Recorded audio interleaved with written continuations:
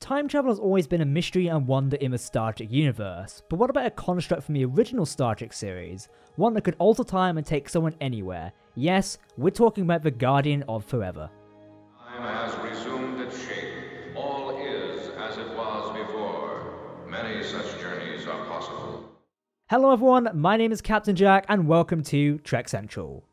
Our new entry to our Star Trek Explained series today is all about the ever so mysterious Guardian of Forever, which might soon become relevant once again. Either way, we thought this would be a great opportunity to explore this mysterious construct that dates all the way back to Star Trek, the original series, appearing over 50 years ago. Sit back as we dive into Star Trek lore once more. If you're new around here and want to stay up to date with the latest Star Trek developments in news, lore, and more, make sure to hit that subscribe button to never miss a video, and follow us on social media to get daily updates on the Trek universe. Now we'll dive into the lore of this video first, before talking about a new time sensitive rumour, so let's get into the juicy content. Originally appearing in the original series episode The City on the Edge of Forever, the Guardian of Forever is simply described as a mysterious construct of an unknown, ancient alien race.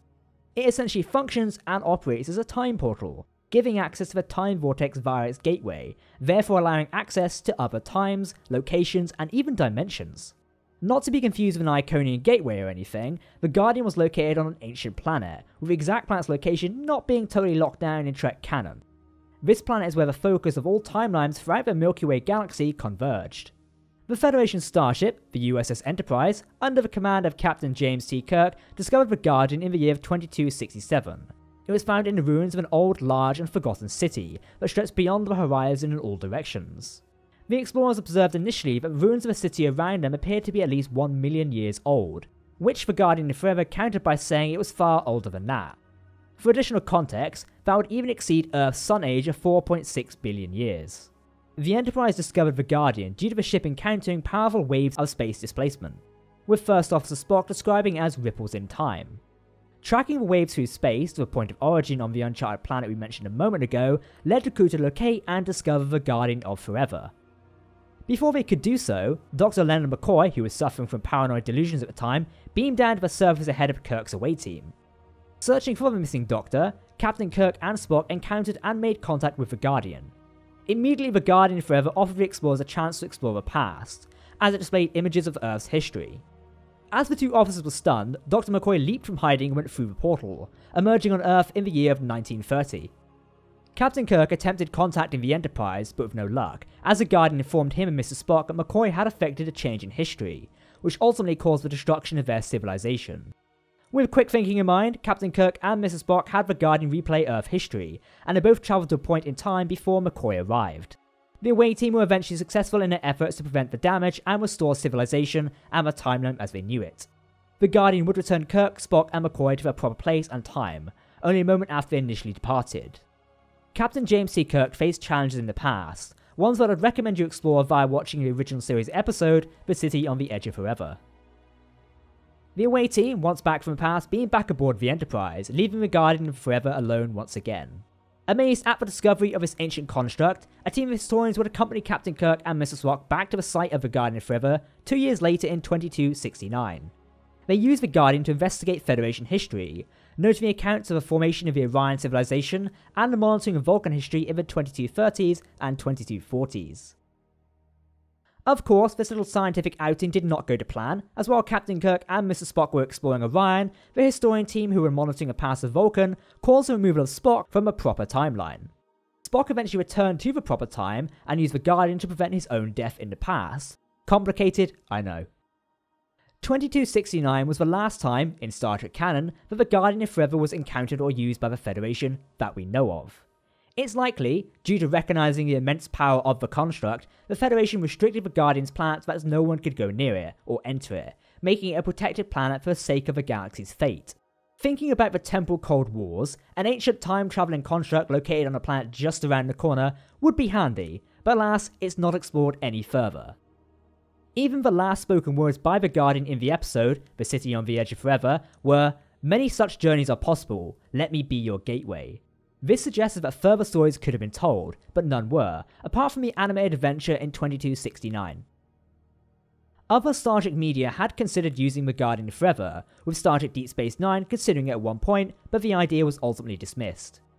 The 2009 Star Trek film was rumoured to contain the Guardian Forever being used by a Romulan to travel back in time, yet as we know, this was not the case. A little fun fact I found while researching this video topic the Guardian's portal displays many images of past and future events in time. One such image is of a sailing ship firing its cannons. This would later be seen in the intro to the Mirror Universe episodes of Star Trek Enterprise. Interesting, wouldn't you say? Now that is everything we have on the Guardian of Forever canon-wise. You can of course explore additional stories and books set in the extended universe and canon of Star Trek, but for the purpose of this video, we wanted to keep it simple. Let's explore how the Guardian may play into the future of Star Trek canon once more, specifically Star Trek Discovery Season 3. It's revealed in Discovery Season 3, Episode 8, The Sanctuary, that Philippa Georgiou is somewhat dying. While not totally explained, as that's likely to happen in Episode 9, aka Terra Firma Part 1, it's indicated in trailers and clips that Jojo cannot survive in the 32nd century, as she is too far removed from her own timeline and own universe when you think about it. Kovich, the old man at Federation headquarters, explains to Dr. Hugh Culber in the episode trailer for Terra Firma that individuals who jump across time from different universes eventually die. This is because their molecules can't work properly, they can't anchor themselves to the correct place in time. That's not the scientific explanation, just a bit of a simpler one. So where am I going with this? Well, rumour has suggested that Philippa Georgiou might have to travel back in time. This would also make sense as she does have her own spin-off Section 31 show to eventually appear in.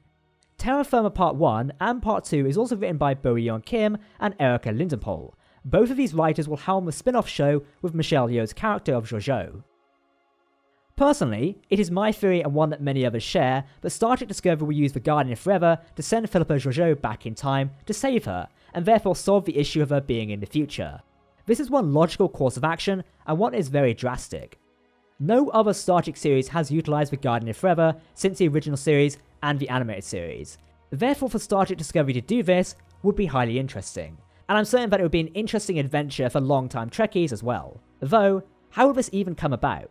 Well, let's be honest, by the time of the 32nd century, after the Temporal Wars, the Federation of Starfleet are likely to have locked down the Guardian of forever, it might even be under the control of a Federation or someone else by this point. Therefore, the solution to Georgiou's problem is right on the doorstep, really. Thanks to Discovery's Spore Drive, they are only a warp, skip, and a jump away from the Guardian's ancient planet. Of course, this is storytelling, and the Guardian might not be used, but I still think it might be a possibility, one I'm willing to explore even more. Do let us know if you agree with this theory and are excited for the upcoming episode of Star Trek Discovery Season 3. You can learn more about the Star Trek universe by sticking around on the channel and checking our Star Trek Explained and Theory videos. We've got plenty to keep you entertained in the run up to episode 9 and the future of Star Trek Discovery. If you want to keep up to date on all the latest Star Trek news, lore and more, then make sure to hit that subscribe button to never miss a video from a team here at Trek Central. You can follow us on social media or join our community Discord server. For now, I've been Captain Jack, thanks for watching, and we'll see you next time. Live long and prosper, my friends.